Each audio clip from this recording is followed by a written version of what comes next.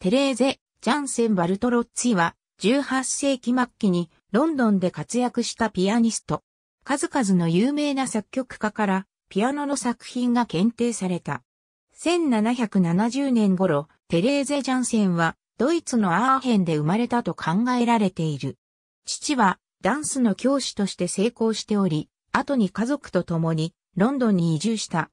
ジャンセン家は裕福な客にダンスを教えることを家業としていた。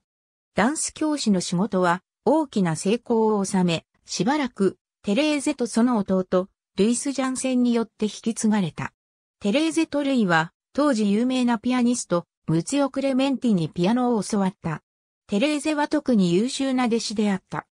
青年期には結出したピアニストとなり、1791年までには高い評価を得ていた。ヨハン・ペーター・ザーロモンは彼女とその家族にヨーゼフ・ハイドンがロンドンで開いた有名なコンサートの初演の無料チケットを与えた。間もなく、テレーゼは、クレメンティ、ハイドン、ヤンラリスラフドゥシークらから作品を検定された。当時の百科事典作家は、クレメンティの三大弟子の一人として、彼女の名を、ジョン・フィールドや、ヨハン・バプティスト・クラーマーと共に挙げている。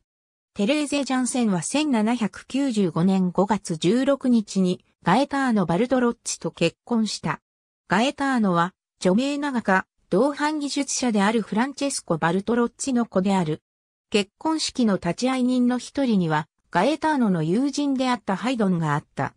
彼はもともと絵画の販売業者で他の事業にまで販売を広げており、ベネツィアにまで仕事へ行くこともしばしばあった。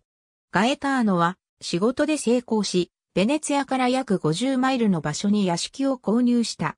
テレーゼのように彼も音楽の才能を持ち、優れたバイオリニスト、ビオリストであった。二度の流産の後、テレーゼは娘、エリザベッタ・ルチアを生む。彼女は結婚後の名であるルシア・エリザベス・ベストリスとして有名な女優、劇場支配人である。テレーゼとガエターノは二人目の娘、ジョセフィンも産んでいる。1798年、バルトロッツィはクリスティーズで絵画の在庫を売って商売を終え、家族でヨーロッパ大陸へと立った。はじめにパリへ渡り、その後のウィーンではおそらくハイドンと休校を温めたと交流した。そしてベネツィアに到着した頃、バルトロッツたちは財産がフランス革命の軍隊に奪われたことを知った。家計をやり直す必要性から彼らはロンドンに戻り、ガエターノは絵画のレッスンを始めた。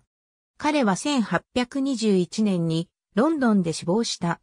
テレーゼは二人の娘と自身の生活をピアノのレッスンの収入で支えることになった。テレーゼ、ジャンセン・バルドロッチは1843年、ロンドンで死亡した。ありがとうございます。